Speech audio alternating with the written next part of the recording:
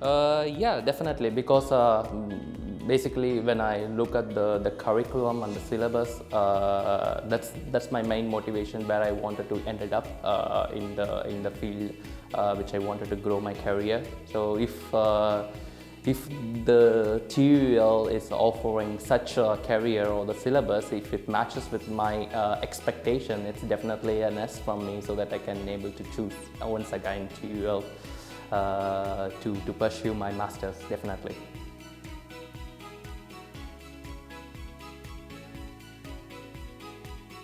Yeah, definitely. So what I learned uh, from all the all all the all, all the syllabus and uh, curriculum uh, in TUL, it definitely helped me in my career path and also in the job uh, which I am currently working on, especially at uh, in Safran uh, cabin which I am currently working.